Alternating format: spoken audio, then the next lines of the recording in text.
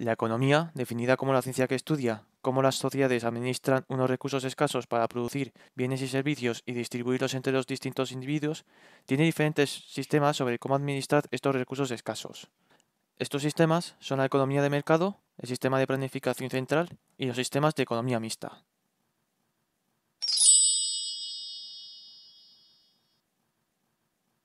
Primero ante todo, un sistema económico es el conjunto de reglas o relaciones en la que una sociedad se organiza para resolver sus problemas económicos básicos, siendo estos el qué producir, cómo producir y para quién producir.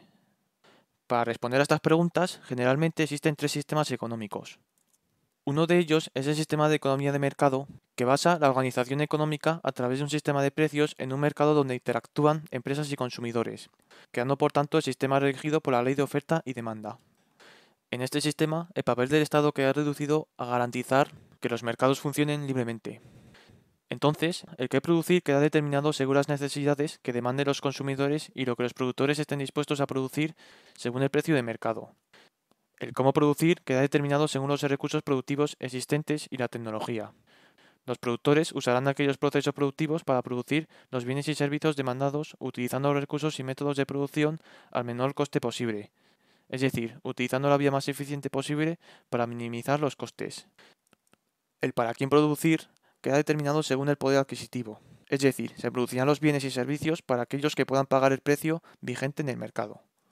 Las grandes ventajas que tiene este sistema económico son la eficiencia en el funcionamiento y la libertad económica.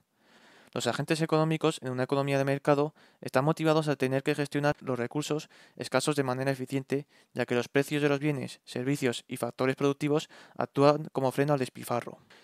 Esto quiere decir que aquellas empresas que tengan procesos productivos que utilicen un número mayor de recursos de lo que se necesitan para llegar a la producción óptima, quedarán fuera del mercado debido a los altos costes. Además, gracias a la existencia de competencia entre los productores, los bienes y servicios se podrán obtener al mejor precio, ya que aquellas empresas que ofrezcan sus productos a un mayor precio que el del mercado para obtener un mayor beneficio no conseguirán vender nada y tendrán por tanto que bajar el precio hasta donde marque el mercado. Otro gran punto a favor que tiene el sistema de economía de mercado es la libertad de elección. Los agentes económicos pueden actuar libremente y tomar las decisiones que ellos crean oportunas para maximizar su bienestar.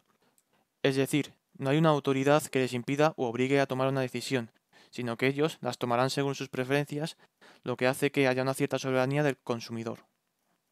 También podemos señalar la constante innovación en los bienes y servicios producidos que pueda haber, ya que siempre las empresas buscarán producir aquello que los consumidores demanden, por lo que el bienestar de la sociedad mejora.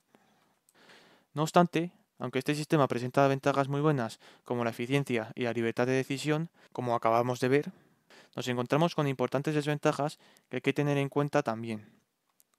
Entre ellas nos encontramos, por ejemplo, que los ingresos y la riqueza en este sistema se reparten muy desigualmente, dando lugar a problemas de desigualdad en una sociedad. Además, hay mercados que no son eficientes por la poca o incluso nula competencia debido a que hay fuertes barreras de entrada que pueden delimitar la existencia de competidores en el mercado. Por otro lado, se puede generar externalidades negativas ya que se puede elegir, en vez de aquel proceso productivo más limpio para el medio ambiente, otro que sea más barato pero más perjudicial, es decir, se pueden no tener en cuenta los costes sociales de contaminar el aire. Otra cosa a tener en cuenta es la existencia de fuertes crisis cada cierto tiempo, lo que hace que haya personas que queden en una situación muy vulnerable, sobre todo aquellas que se quedan sin empleo. También hay que tener en cuenta que la libertad económica en este sistema es bastante discutible por el hecho de que la libertad depende de cuanto más dinero o poder adquisitivo se tenga. Esto quiere decir que los más ricos gozarán de más libertad que los más pobres.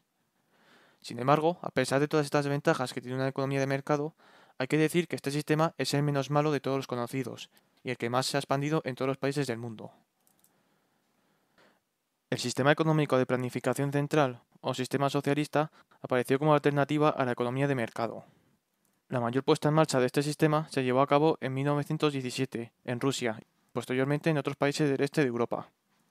Podemos decir que el sistema de planificación central es la antítesis de la economía de mercado, ya que en este sistema las decisiones de los agentes económicos son cambiadas por una planificación de la economía fijada por el Estado, que es el organismo que ostenta el poder económico. En este sistema, la propiedad privada generalmente no existe, ya que el Estado es el dueño y jefe de los bienes de producción, y el que fija el qué, cómo y para quién producir. Entonces, el Estado, mediante unos planes, decreta la producción que se tiene que elaborar y la distribución de las tareas para realizar esta producción. Por tanto, nos encontramos en un sistema donde las empresas son mayoritariamente públicas y donde los consumidores no tienen nada de soberanía. La gran ventaja que tiene este sistema económico es que los ciudadanos del Estado pueden tener trabajo garantizado y no enfrentarse a problemas de desempleo, y acceder a servicios básicos como la sanidad o la educación de manera gratuita. Además, se puede conseguir un reparto de renta más equitativo. Por otro lado, la gran desventaja es que se pierde la eficiencia del mercado al estar los precios y salarios fijados por el Estado. Entonces, las empresas no producen para maximizar su beneficio, y por ello pueden utilizar métodos productivos que no sean eficientes ya que no tienen interés en minimizar costes. Además, los trabajadores no tienen ningún incentivo en mejorar su productividad debido a que su salario está fijado sin importar cuánto producen. Evidentemente, una economía de planificación central puede ser muy atractiva para ser implantada en una sociedad, debido a la igualdad que puede haber entre todos sus miembros. Pero el resultado final, es decir, la producción final de una economía de este tipo, puede ser mucho peor que la de una economía de mercado debido a la gran pérdida de eficiencia. Por tanto, la reflexión que hay que hacer ante esto es que el reparto de la tarta en una economía planificada puede ser más equitativo, pero siendo esta tarta mucho más pequeña que la de una economía de mercado. La economía mixta surge de la combinación de la economía de mercado y del sistema de planificación central.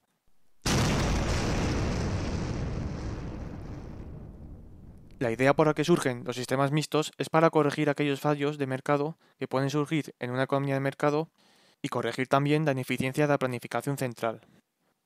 Lo que hay que destacar de este sistema es que los agentes económicos son libres a la hora de actuar y tomar las decisiones económicas. Es decir, las decisiones se toman de manera descentralizada sin que haya ninguna autoridad dando lo que se tiene que producir o consumir. No obstante, el Estado en este sistema juega un papel importante, ya que interviene en la economía con la idea de corregir aquellos fallos producidos por el sistema de mercado. Por ejemplo, provee de servicios básicos a la población, como la educación o la sanidad, para que aquellos que en una economía de mercado quedarían más desfavorecidos no se queden sin estos servicios. También promueve un reparto de la renta más equitativo con la implantación de subvenciones o prestaciones sociales como la de desempleo. Además, el Estado puede promover la competencia en los mercados al prohibir los monopolios y echar un vistazo a aquellos sectores estratégicos como la banca o la energía.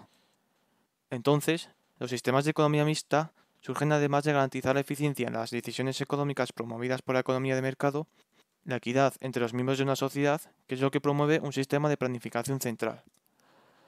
No obstante, hay que tener en cuenta la existencia de los fallos del Estado, surgidos por su intervención en la economía, y que son aquellos producidos cuando sus acciones empeoran la situación económica. Por ejemplo, se puede dar el caso de que el Estado suba los impuestos al consumo, como el IVA, con la idea de recaudar más dinero para pagar más prestaciones sociales. Pero esto puede tener un efecto negativo para el consumo al desincentivarlo por ser los bienes y servicios ahora más caros. Por tanto, lo que podría ocurrir es que la producción en la economía descienda por la caída del consumo, y además, por esto, el Estado podría recaudar menos dinero, aunque haya subido el impuesto. Podría pasar algo parecido con una subida del impuesto a la renta, que al ser más alto puede desincentivar a la gente a trabajar. Por tanto, en los sistemas mixtos se debe analizar bien cada decisión que se toma para llegar a un equilibrio entre el funcionamiento del mercado y la intervención del Estado.